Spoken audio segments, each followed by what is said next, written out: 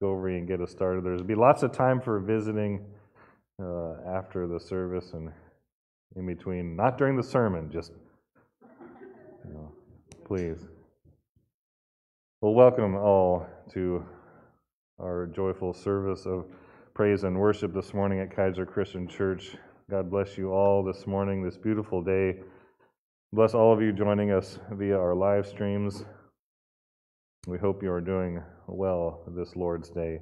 Let us begin our time of worship together with some music.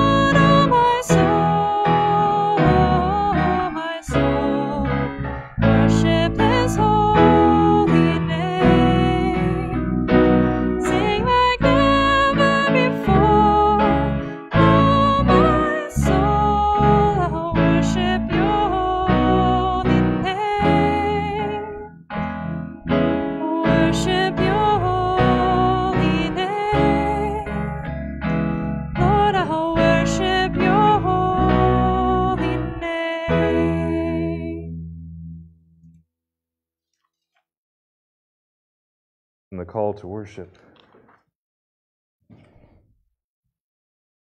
Poor or despairing, come to be blessed. Hungry or tired, come to be restored. Sorrowing or sighing, come to discover joy. Bring your tired, your poor, share your hopes, your dreams. Embrace your doubts, your fears. Come as you are. All are welcome here. Will you pray with me? God of blessings and woes, Bless us with your presence this day. Reveal your way forward and guide us in pathways of hope and grace. In your blessed name, amen.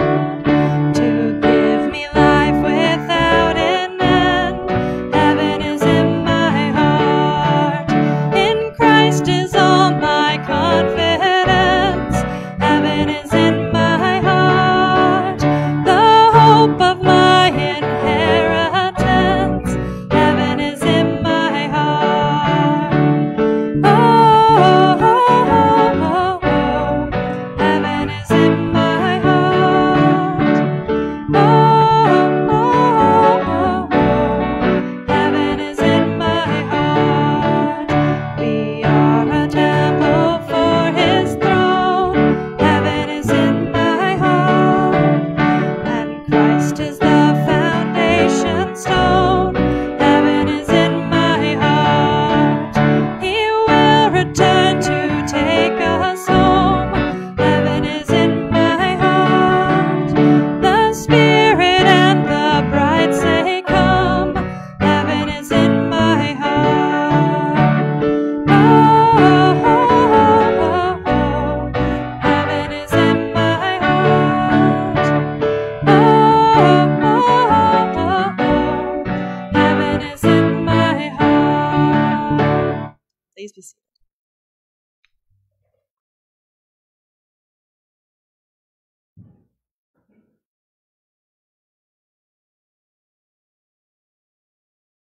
come together as the body of Christ.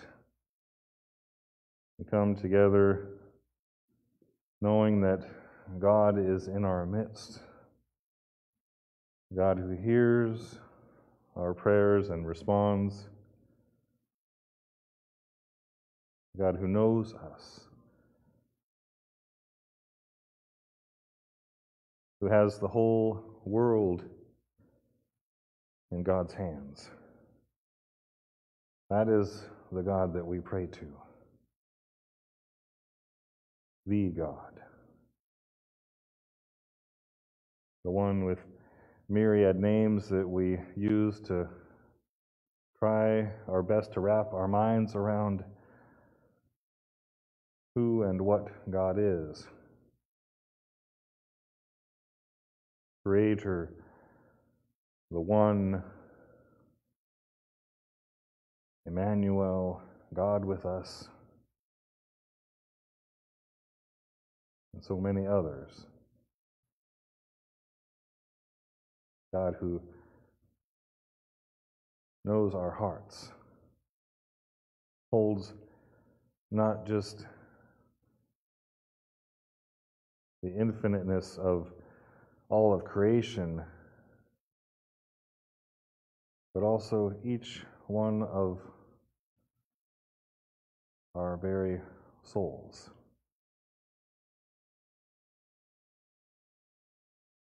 The wideness and the focus that we can scarce imagine.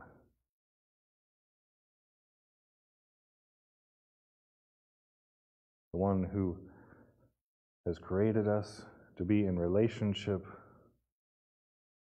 with the Almighty, with the infinite. At times we would question our own concerns and desires and fears and joys in comparison with all that God is. But throughout Scripture and human history with God, we are continuously and repeatedly reminded that God cares for us in the midst of God's infinite scope. We are known. And when we hold that up against all of our concerns and worries and woes, we can be comforted and have a sense of peace. We come together this morning in a time of prayer to release those woes and supplications and thanksgivings into God's hands and to seek that sense of peace, not just for ourselves, not just for one another in this space, but for all people. Let us pray together this morning.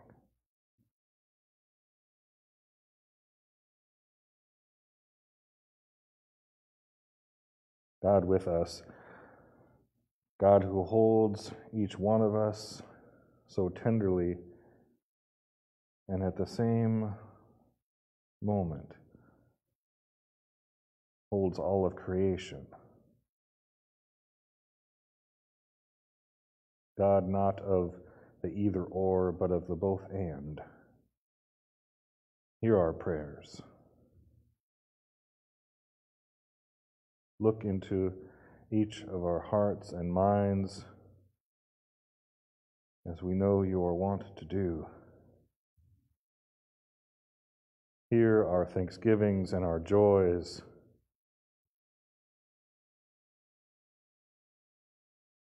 Hear our fears and our anxieties, our prayers for peace and for healing.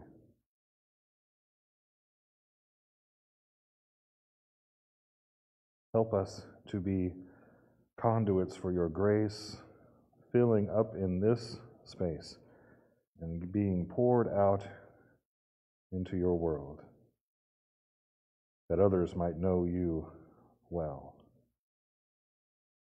might become aware that you know them.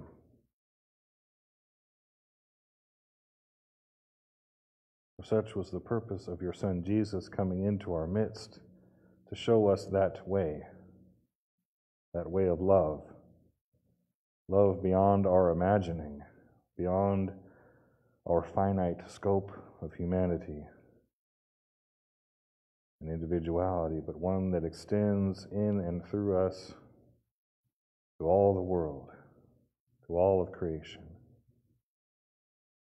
May your love be felt here in this time and space, and in other places, the places that you send us, that we are called to, people that you put in our paths.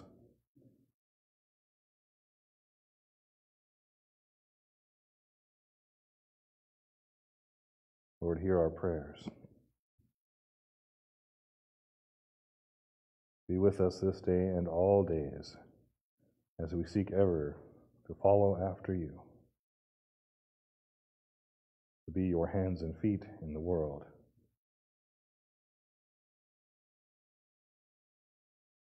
To go out just as your son Jesus sent out those earliest disciples, those whom he first prayed with and walked with.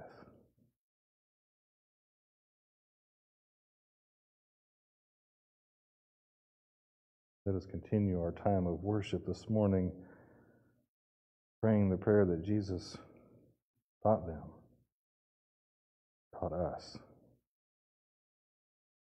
saying, Our Father, who art in heaven, hallowed be thy name. Thy kingdom come, thy will be done on earth as it is in heaven. Give us this day our daily bread, and forgive us our debts as we forgive our debtors. And lead us not into temptation, but deliver us from evil. For thine is the kingdom, and the power, and the glory forever. Amen.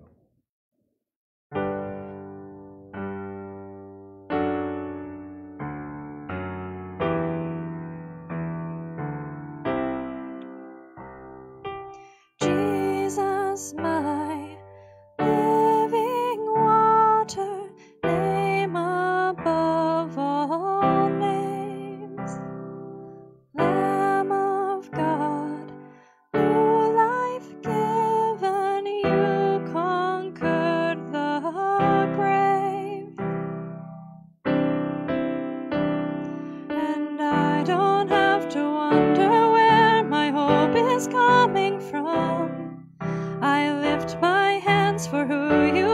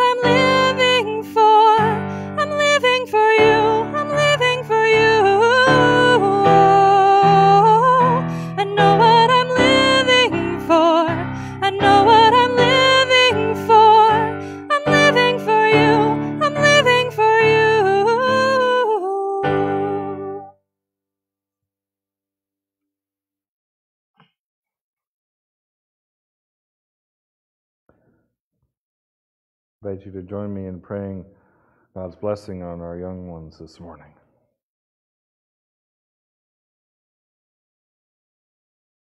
Lord of all creation, we ask your blessing upon the young people, the children in our lives, in our community. Be with them, God. Be a blessing in their lives. May they know that they are known. Amen.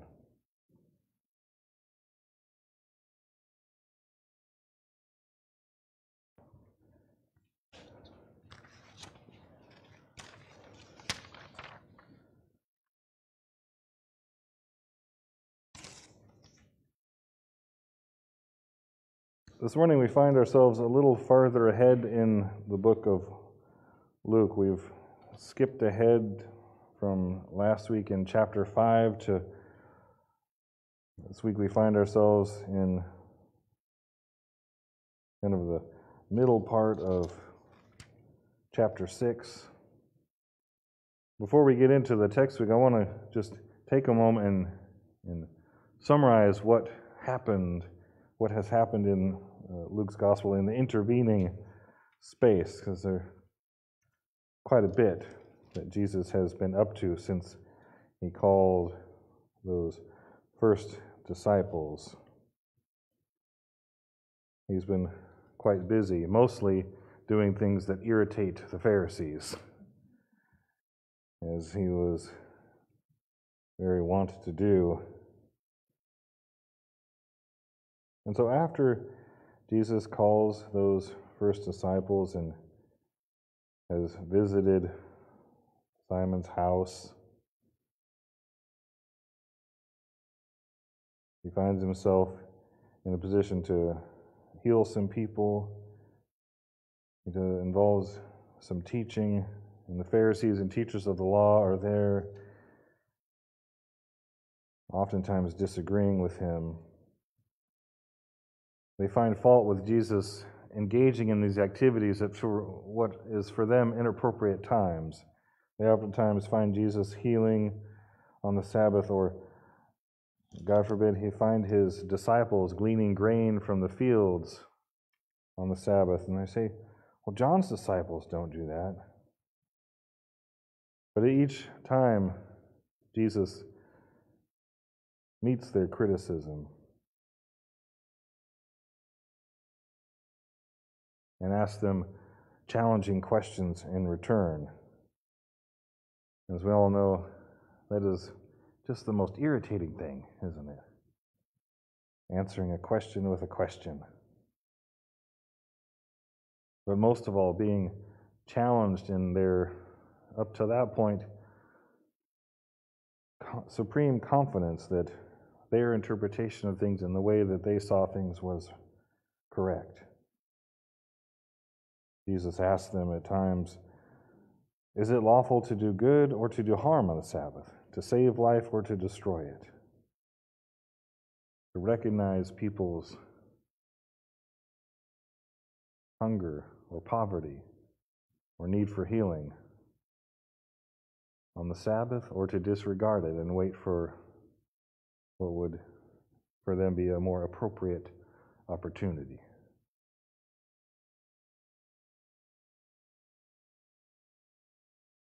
And he challenges them in that intervening time from calling those disciples.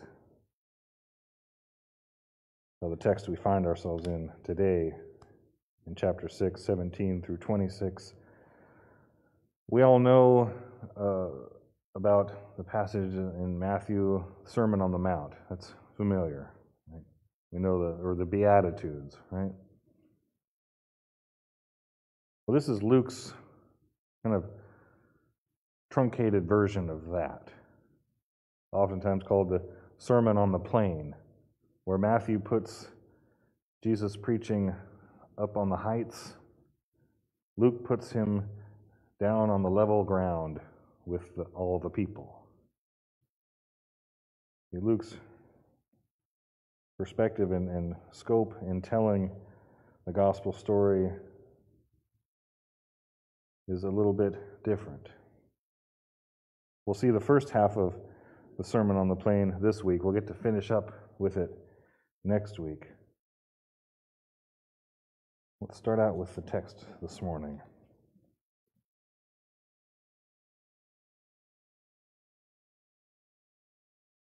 We, re, we join Jesus after he's been up on the mountain to pray, and he comes down, says he came down with them the 12 disciples that he has named just previously, the 12 apostles out of his large group of disciples, the ones whose names we remember. He came down with them and stood on a level place with a great crowd of his disciples and a great multitude of people from all Judea and Jerusalem and the coast of Tyre and Sidon. They had come to hear him and to be healed of their diseases and those who were troubled with unclean spirits were cured. And all in the crowd were trying to touch him, for power came out from him and healed all of them. Then he looked up at his disciples and said, Blessed are you who are poor, for yours is the kingdom of God. Blessed are you who are hungry now, for you will be filled. Blessed are you who weep now, for you will laugh. Blessed are you when people hate you, and when they exclude you, revile you, and defame you on account of the Son of Man. Rejoice in that day and leap for joy, for surely your reward is great in heaven, for that is what their ancestors did to the prophets. But woe to you who are rich, for you have received your consolation. Woe to you who are full now, for you will be hungry. Woe to you who are laughing now, for you will mourn and weep. Woe to you who all speak well, when all speak well of you, for that is what their ancestors did to the false prophets.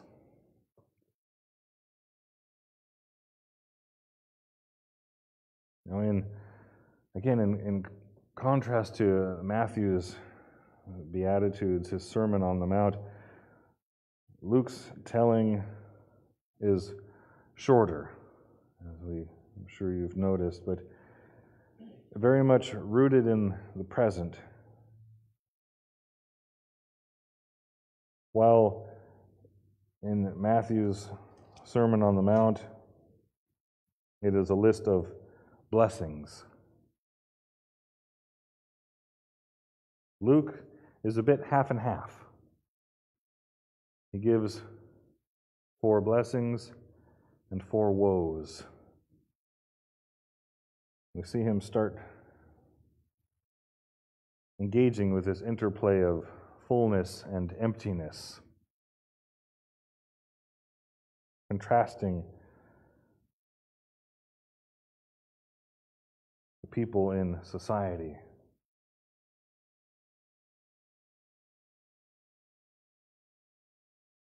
It's interesting to note As I said before, in Matthew's gospel, Jesus goes up the mountain to preach. But in Luke's telling, and we know the way uh, Luke is telling his gospel, he's very much concerned with the here and now for the people the poor and the hungry, not in, in a very literal sense, rooted in the present. And so Jesus prepares himself and the disciples up on the mountain in prayer, and they come down to where the people are at. That in itself tells us a lot about Jesus, doesn't it? It's not in contrast to Matthew's telling, but that's part of the reason we have more than one gospel, isn't it? You can't fit even all of who and what Jesus is in the four we have. But they give a pretty broad picture, certainly more than just one could do. So, the way Luke tells it, we have this powerful image of Jesus coming down from a mountaintop experience. For, we know that term, right? especially as people of faith having a mountaintop experience. Think about what this was like for those 12 uh, disciples that Jesus has named out of the, the whole, named as apostles Peter, Andrew, James, John, Philip, Bartholomew. Matthew and Thomas, and James, son of Alphaeus, and Simon the Zealot, Judas, son of James, and Judas Iscariot. All of these have had a mountaintop experience and are immediately brought down amidst the people who are clamoring for a touch, a glimpse of Jesus,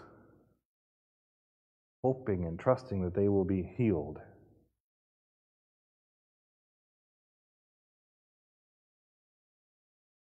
I can't hardly imagine what that moment would have been like. We read it now, and we're sometimes so far removed from the, the visceral reality of such an experience. To us, it's just a story sometimes. A story that has meaning and depth in it, but still, we often just are reading it in the comfort of our homes or our, our churches. We have to somehow get into the same headspace as, as those folks were at. We think about our own mountaintop experiences. What were those like for you? What did it feel like to be on that spiritual high? so full that you felt like you couldn't contain it. And you just had to rush out and pour it out on somebody. Have you felt like that before? I'm seeing nods. I'm nodding of myself. We all have these stories that are integral to our faith development, our, our spiritual experience, our story of our relationship with God. Times both in large and small ways where God has filled us up. Sometimes our mountaintop experiences are, are at you know, kind of a medium elevation. Sometimes they're in the highest heights. They're all significant for us. They all taught us something and continue to do so. We need lots of them to keep reminding us who and what we are, reminding us of that importance of being filled and being emptied.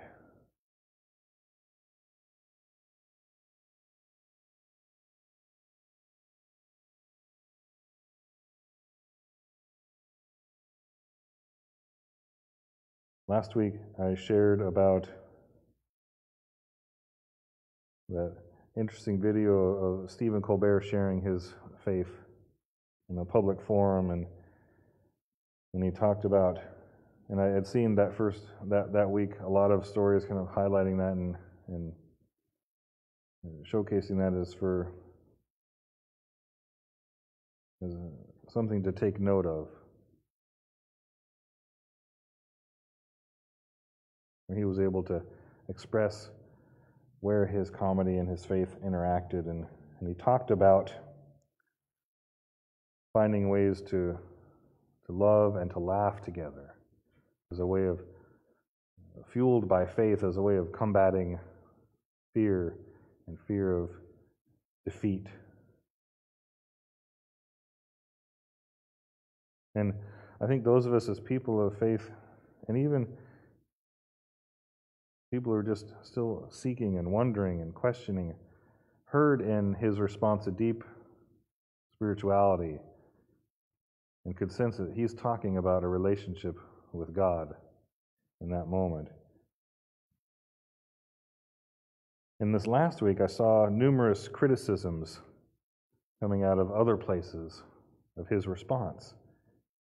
It wasn't, it wasn't overt enough. He didn't mention the pure gospel. He didn't, it wasn't evangelistic enough. And then I read Jesus' words right here that he wrote, lifted his head up and spoke what feels like directly to his disciples.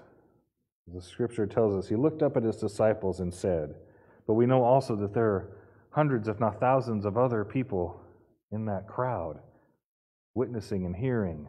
So it's directed at the disciples, but not just for them. He tells them, amongst other things, Blessed are you who weep now, for you will laugh.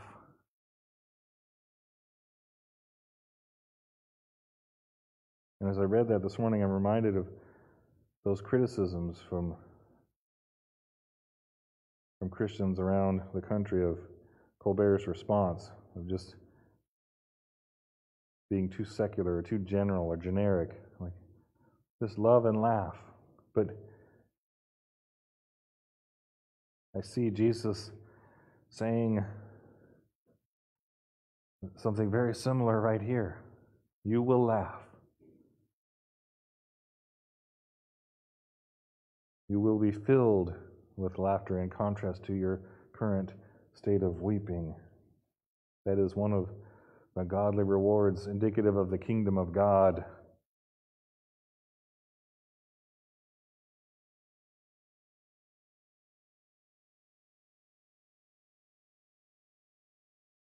We see Luke here engaging the storytelling of what Jesus said and did, and telling it in such a way that It calls into question that, that fullness that we sometimes get that feels like emptiness. You know what I mean? It's that fullness that we that we gather for ourselves, that where we feel a sense of emptiness or a sense of longing. And even as people of faith, we fall into this trap sometimes where we, we get a little bit lost. We want to fill our lives with this thing or that thing, or say, if we just had more of this, or sometimes it's physical things, sometimes it's just time, then, then everything would be fine. We'd be happy.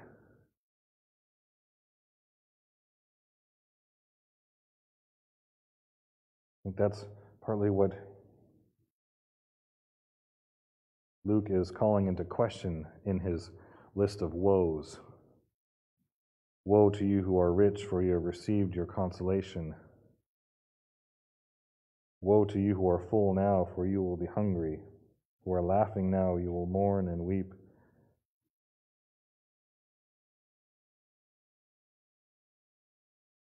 Playing with this interchange of fullness and emptiness,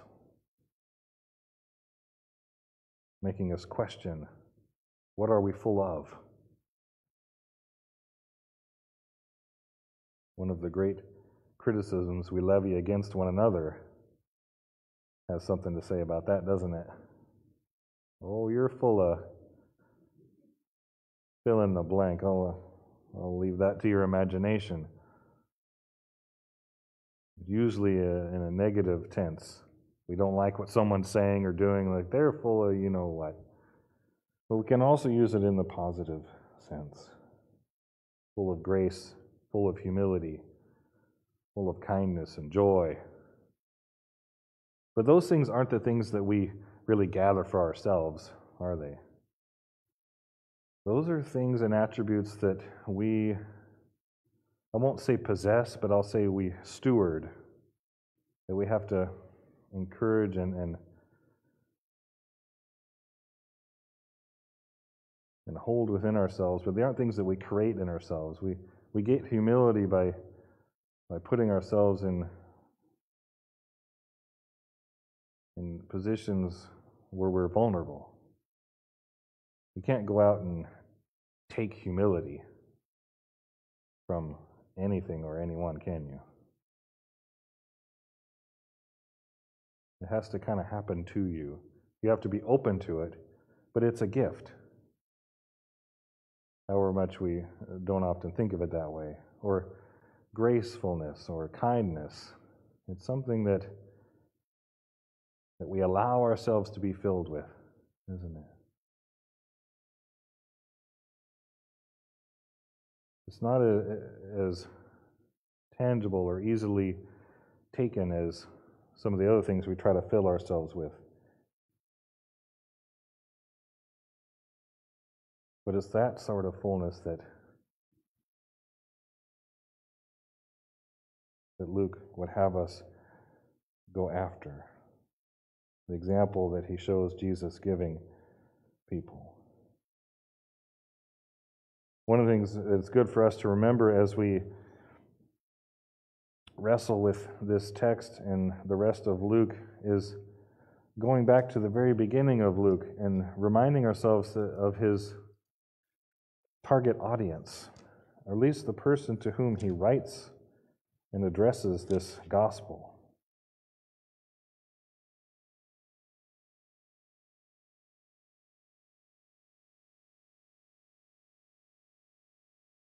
He writes it to a person named Theophilus.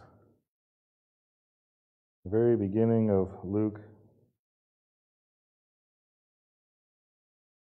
acknowledging that, as he says, many have undertaken to set down an orderly account of the events that have been fulfilled among us,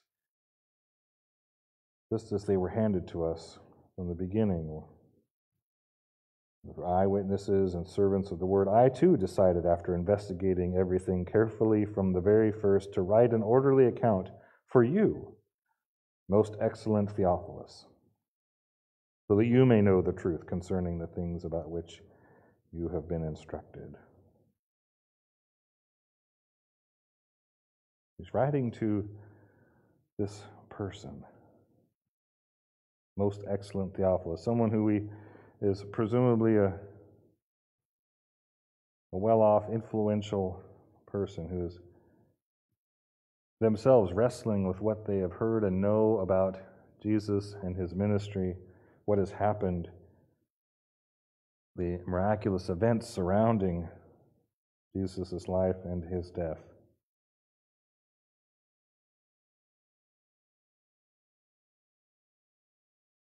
Scholars have pointed out that for someone like they think Theophilus was, this last verse of the passage today may be directed particularly at somebody like him.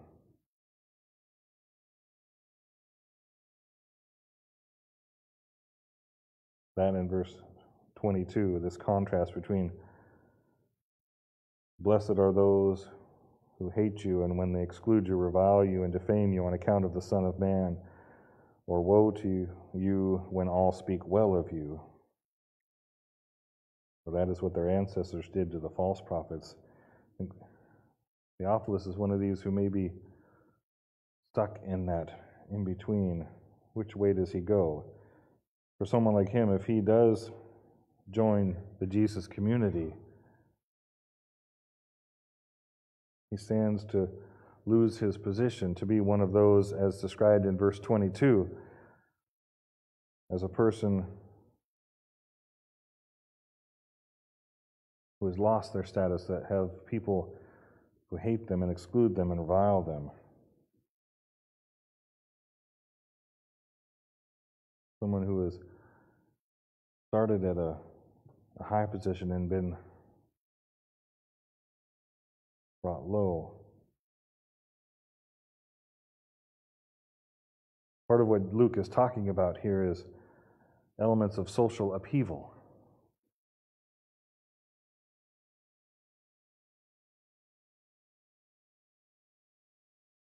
Telling those who are rich and full and laughing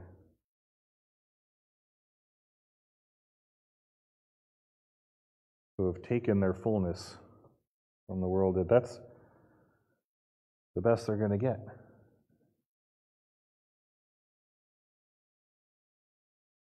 And those who are struggling and have sense of emptiness and weeping, that reward and wholeness and fullness is coming.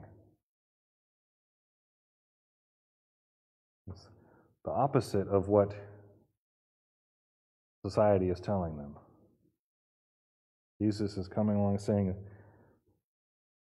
This is all going to be flipped on its head.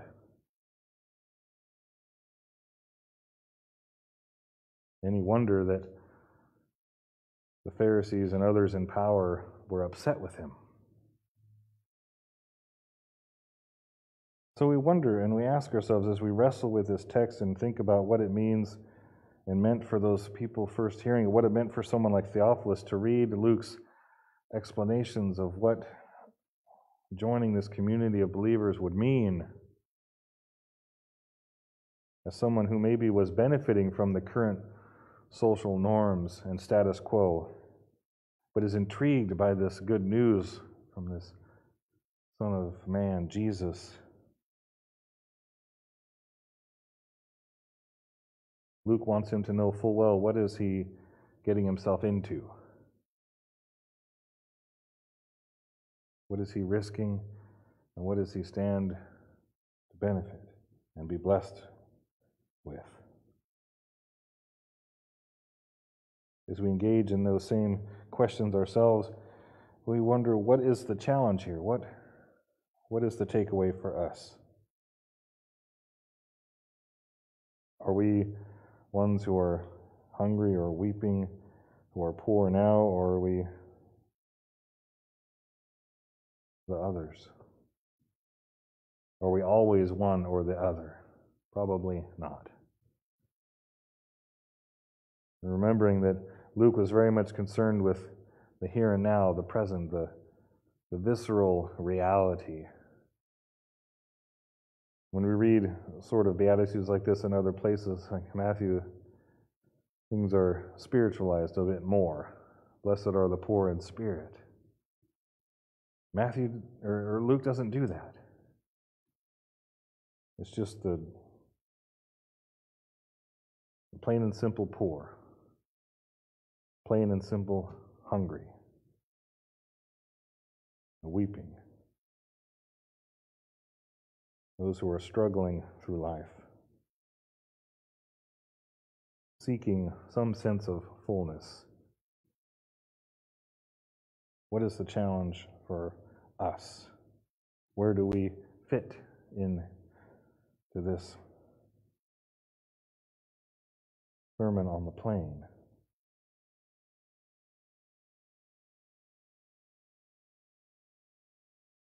What is Jesus teaching us here?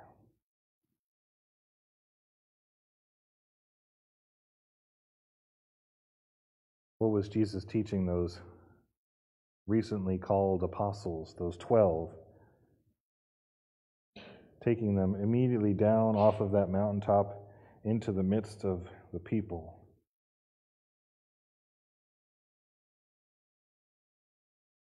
They didn't just get to ride that euphoric wave of the mountaintop experience, they were immediately brought down and poured out for the sake of the poor and those needing healing.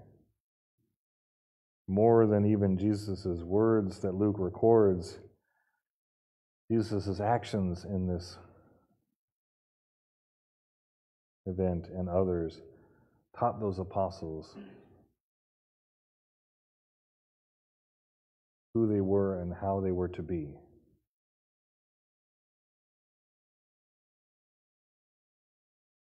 His words directed at them, but not just for them.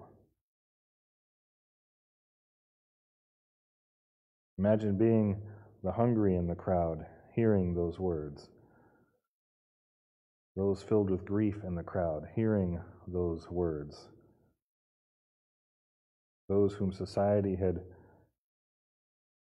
oppressed into positions of generational poverty, how they heard Jesus' words and saw his action. These ones who were lifted up came down into their midst, laid hands on them.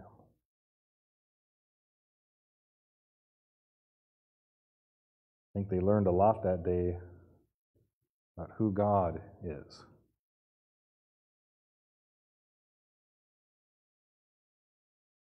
Jesus helped them to recognize that the source of all life giving fullness is that one true God.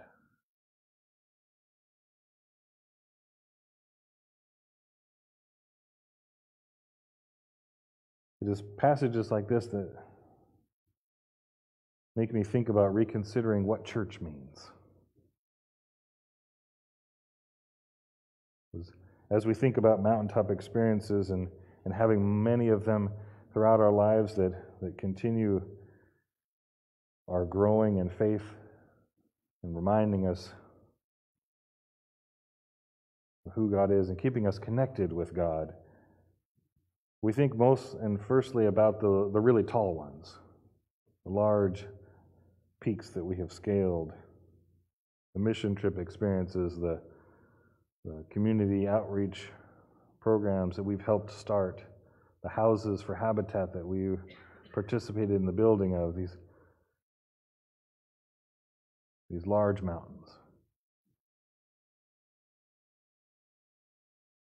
But every Sunday we scale the peak of worship together.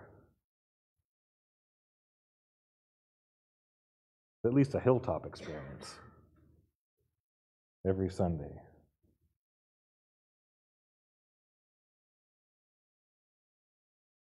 But how often do we forget to come down off of this lofty peak into the midst of the people?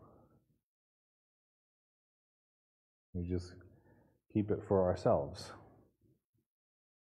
Or we, we spend so much of our time and energy figuring out how, you know, I had a wonderful experience here, I continue to. How do I get, how do we get other people up onto the mountain?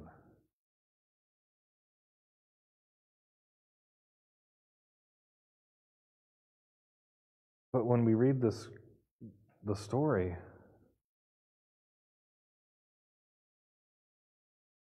After Jesus prayed with those disciples and called the twelve, anointing them,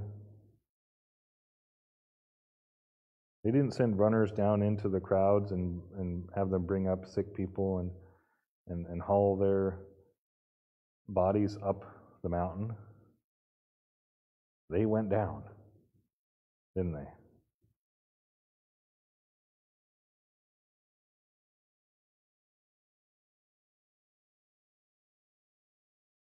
I can't get past the, the idea that in, in every generation of Christianity throughout the eons and and even now, people of faith have, have had the opportunity to, to rethink what it means to be God's church. Have gone through some sense of growth and transformation and had to let go of the way we've always done it in the past in order to be stretched into something new and better and different to reach God's people, to come down off the mountain into their midst. I can't help but wonder what that means for us now. What is our opportunity to take these lessons and values from a text like this, talking about what it means to be full and empty and the great and holy source of our fullness?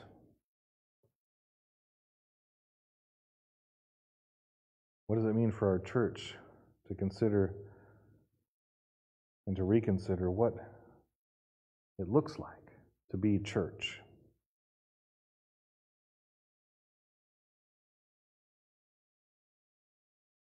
Taking this place of fullness, the mountaintop experiences we share here together, and to come down, to go out take that fullness of God out into the world. We know how we've done it before. We have grieved the ways we are have been unable to continue to do that work in familiar ways. I think we are on the cusp of this next step of growth and transformation, of considering what God has for us next.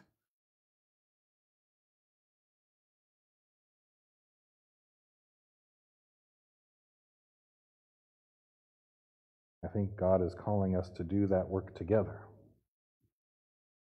To use our God given imaginations and resources, the great fullness of faith that we possess. Scratch that, that we steward, that we have been gifted with. And in the most positive sense of the term, re gift it. So that that goodness might continue. It may seem like a daunting task. But it is one, as I've said, the church has gone through many times before. The church now looks very different. Even our disciples' church looks very different than it did in its beginning.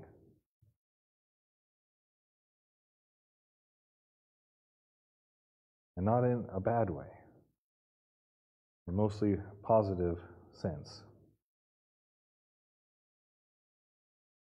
We remember who we were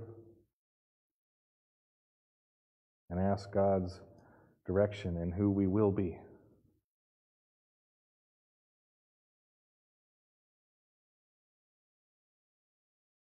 Jesus didn't expect those 12 apostles to stay the same. They weren't called because they were all perfectly formed and filled at that point. As we recognized last week, they were called because of who they could be. So are we. No matter how long we've been a Christian or how long we've been alive, God has things for us to do.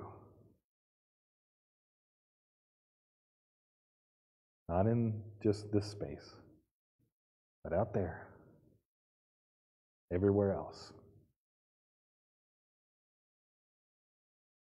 Amen. Let's continue in our time of worship this morning with our hymn of response Have thine own way, Lord.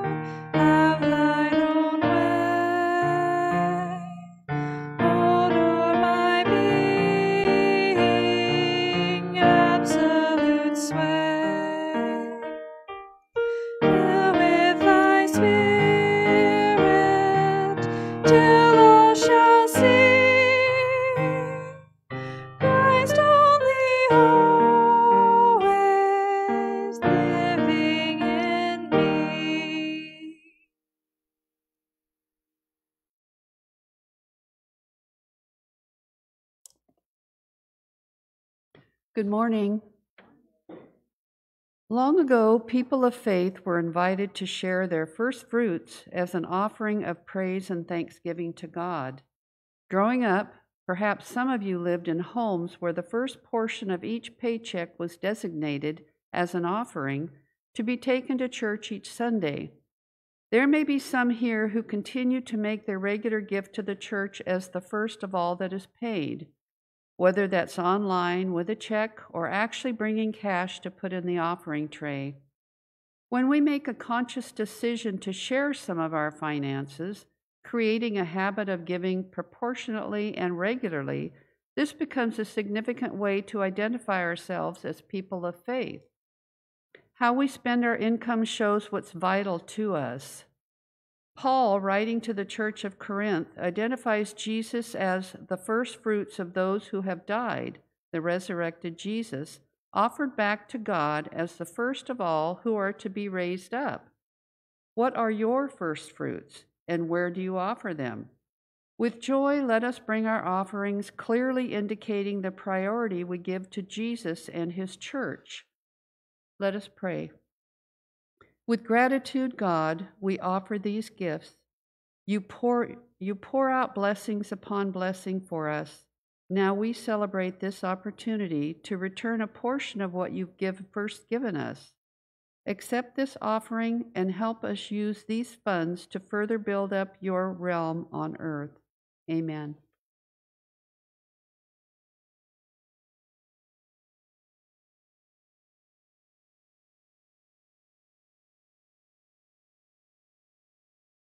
In the scripture today, the first half of Jesus' sermon on the plain, having called the 12 apostles in, in prayer on the mountain and come down into the midst of the people to pour out blessings upon them, Luke invites us to consider that experience of fullness and emptiness a running theme throughout our Christian faith of being filled up with all good things with the Holy Spirit through the power of God, not for our own benefit, not to be held in perpetuity or even invested so that it might grow, but to be continuously poured out. That somehow, in some paradoxical fashion, the the act of being a vessel, of being filled and poured, filled and poured throughout a lifetime of faith, somehow engages and enacts some sort of miraculous transformation within us. We are somehow seasoned through that experience, imbued with that same spirit.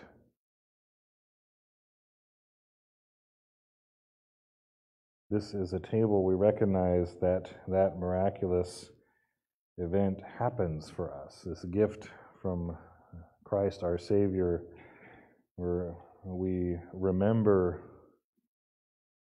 the source of our salvation, the sacrifices made, the lessons taught, or taught them, the mentoring that happens and continues to happen. We also have the visceral experience of being filled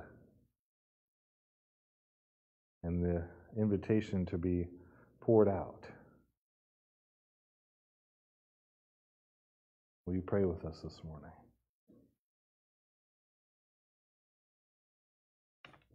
Merciful God, with thanksgiving, we remember that we have been bought at a great cost. We eat this bread and drink this cup together in remembrance of Jesus.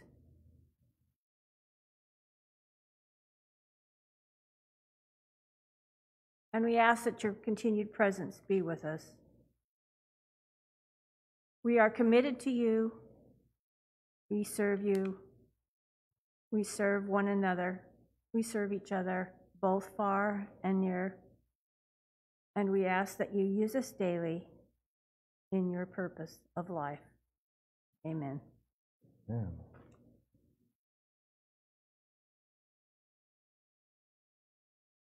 as we come to this table by Christ's invitation and Christ alone, we remember when he gathered with those 12 apostles around table towards the end of his life on earth and, and them experiencing the coming emptiness would accompany the loss of his presence in their lives. Jesus came and through the breaking of bread and the serving of them, he reminded them that they would not be empty, but would remain full, even as he had to leave them. Blessed that bread, and he broke it, and he gave it to them as a symbol of their fullness, the power of the Holy Spirit. He took the cup and he poured it out. Remind them that they would be called to be poured out. And the promise of covenant between God and people poured out to be forgiveness, to be grace for the world called to be filled and sent and poured out. That Last Supper was a visceral reminder to those 12 and to us now of the opportunity for fullness. Not because they came and took the bread for themselves or poured wine into their cups, but because they received it from Christ our Savior. And so we respond to that same invitation to come and to receive. Not to take communion, but to receive communion with God our Creator and with one another, body of Christ. Let us join in that communion together this morning.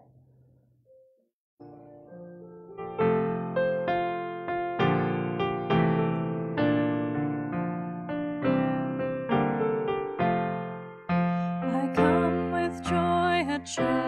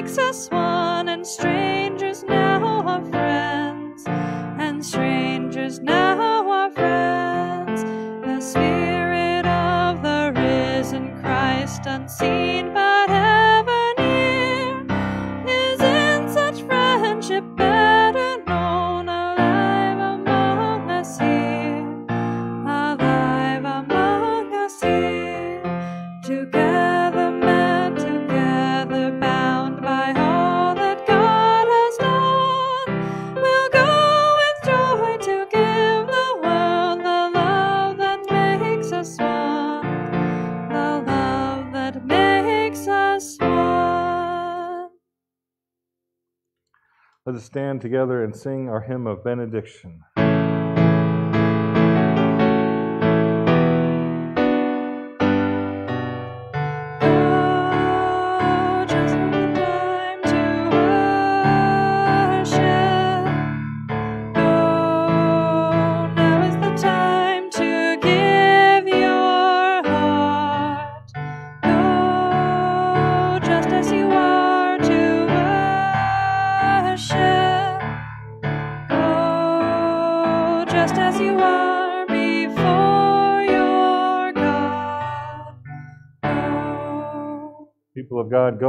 Fullness of God.